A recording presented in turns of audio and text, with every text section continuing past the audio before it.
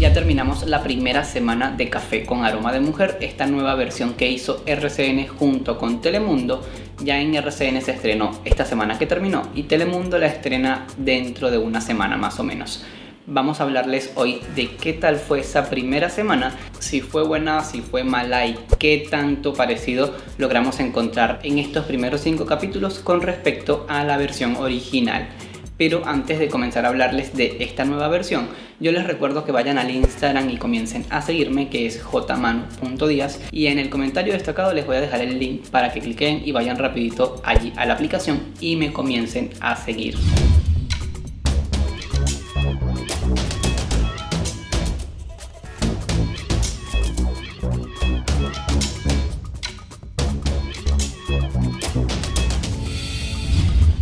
Les recomiendo este canal de YouTube de un chico mexicano que está subiendo imágenes de telenovelas antiguas que casi no se consiguen videos de estas novelas y él tuvo la oportunidad de grabar muchas de ellas cuando fueron repetidas en televisoras locales mexicanas y ahora las está digitalizando y subiendo a YouTube. Me comentaba que no tiene todas grabadas en su totalidad, pero sí de muchas tiene gran parte. Así que vayan a ese canal y disfruten de estas escenas que él está subiendo y que además están en muy buena calidad, como las de Ruby, que fueron las que más me vi y me gustaron de esta primera versión que casi no se consigue nada y lo que se consigue no está en muy buena resolución, pero acá lo van a poder encontrar. En el comentario destacado también les voy a dejar el link de ese canal. Al empezar a ver esta historia, lo primero que notamos, el principal cambio que notamos es la recomposición que sufrió la familia Vallejo, ya que notamos que no es de la misma manera como estaba en la versión colombiana, o bueno, las dos son colombianas, pero en la primera versión,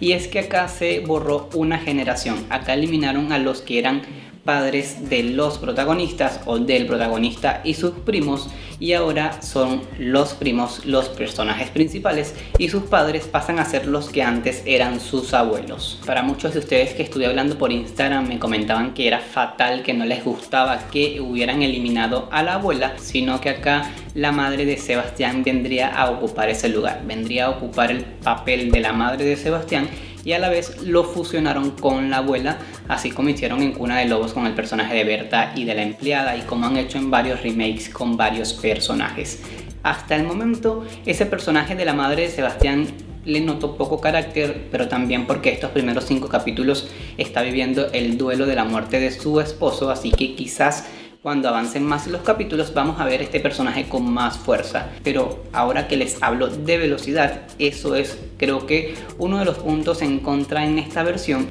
Al ser moderna, al ser actual, yo imaginaría que iba a ir mucho más rápido, pero no.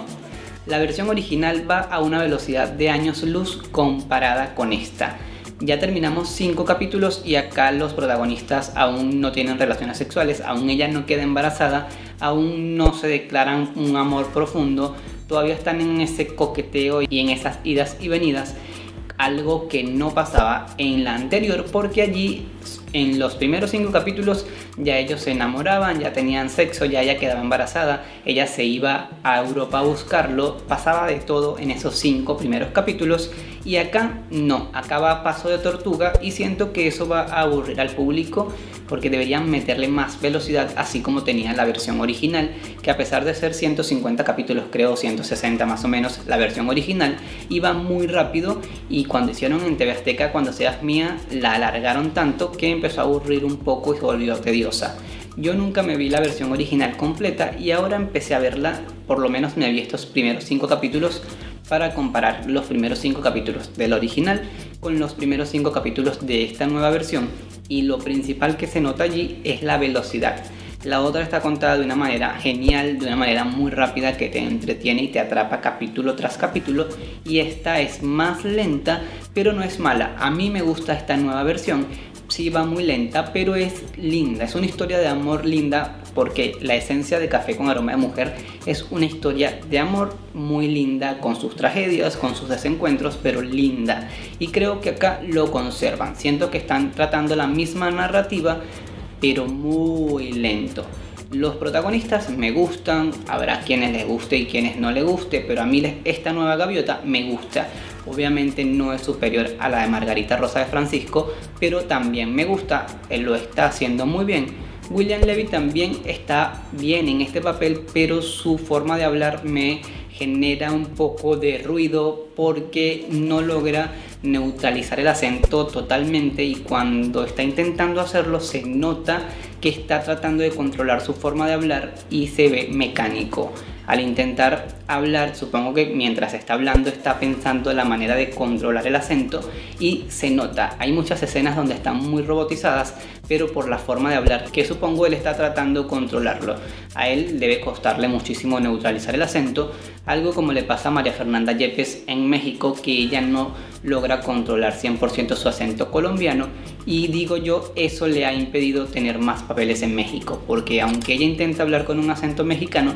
siempre se le sale el colombiano y eso, a mi parecer, le ha jugado en contra allá en México. Algo que no ha pasado con William Levy porque a él lo ha favorecido el físico y la atracción que genera en las mujeres y entonces su acento no ha generado mayor ruido por esa parte. Y acá desentona con los demás personajes porque como todos son colombianos, todos hablan muy bien su acento colombiano porque es su acento nativo y aunque no son de esa localidad, lo imitan muy bien y William desentona completamente, a pesar de que en la versión original Gayeker también desentonaba por el acento, pero acá lo justificaban porque él vivía desde muy niño en Londres, entonces prácticamente toda su vida había hablado en inglés y el español lo sabía hablar, pero con una tonada diferente por todo el tiempo que había estado fuera de su país. Esta nueva gaviota de Laura Londoño yo siento que no es tan ingenua como la gaviota de Margarita Rosa de Francisco. No me refiero a que esta sea mejor que la otra gaviota, porque ya les dije que la de Margarita para mí es la mejor. Lo que he visto de ambas Margarita sigue siendo la mejor comparándola con Silvia o con Angélica Rivera. La de Margarita tiene una chispa diferente, pero es muy, muy ingenua. Por lo menos también en los primeros capítulos, cuando se va a Londres pensando que allá va a ser todo tan fácil. Y esta de Laura Londoño siento que no va a ser así tan ingenua porque tiene más pilas, es más vivaz y no creo que caiga en un engaño como en el que cayó la gaviota de Margarita Rosa de Francisco, aunque me parece que este argumento por el que Margarita se va a Europa no va a existir en esta versión, o por lo menos no se va a ir del país persiguiendo a Sebastián para decirle que está embarazada, porque como decía Carmen Villalobos en una entrevista que leí hace un tiempo, no sería creíble que ella no lograra contactarse con Sebastián porque actualmente existe en las redes sociales y se supone que es un hombre importante de negocios y simplemente al colocar el nombre en Google vas a conseguir información de él y vas a conseguir forma de contactarlo.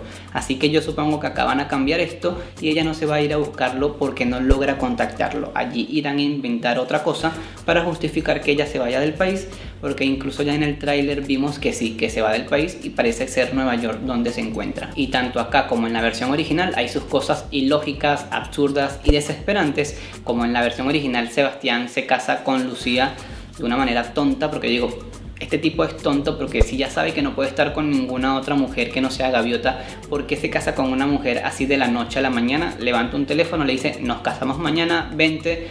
¿Qué le hace pensar a él que va a poder ser feliz con una mujer que ni siquiera conoce y que además no puede estar con ella ni físicamente, ni emocionalmente, ni sexualmente? No puede intimar con ninguna otra mujer y él pretende casarse con ella para olvidar a Gaviota. En estos primeros capítulos que me vi de la versión original me estresó Sebastián por ser tan tonto. En esta primera semana no pudimos ver mucho a Carmen Villalobos, salía en pedacitos porque ella aún se encuentra en Nueva York, pero supongo yo va a aparecer a partir del matrimonio de Iván, ya que ella y Sebastián van a ser los padrinos de esta boda y allí se van a reencontrar y viendo el tráiler, allí al parecer Sebastián va a presentar a la gaviota como su novia, algo que no sucedió para nada en la otra versión y van a haber muchos más cambios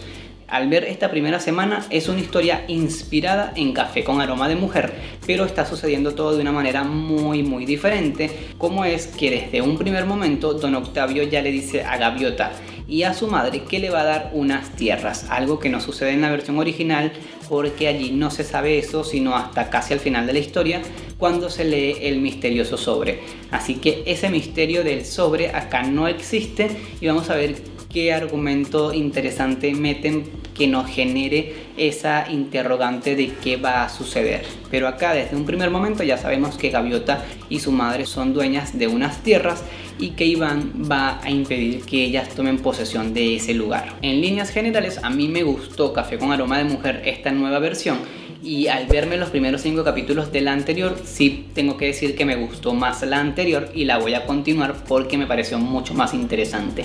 pero a la par voy a seguir con esta versión nueva porque sí es buena. Es una historia lenta pero es disfrutable. Es de esas telenovelas que uno prende el televisor y disfruta el capítulo porque sí, es una historia de amor linda. No tiene grandes emociones que te mantienen así nervioso, pero sí te la disfrutas porque es muy buena. Ustedes comentenme acá qué les pareció esta primera semana de Café con Aroma de Mujer y si les gusta más que la versión anterior o que las versiones anteriores como Cuando seas mía o Destilando Amor. Díganmelo acá que los voy a estar leyendo. Ahora sí me despido, pero les recuerdo que me vayan a seguir al Instagram que es jmanu.díaz y en el link del comentario destacado les voy a dejar para que vayan rápido a la aplicación y comiencen a seguirme.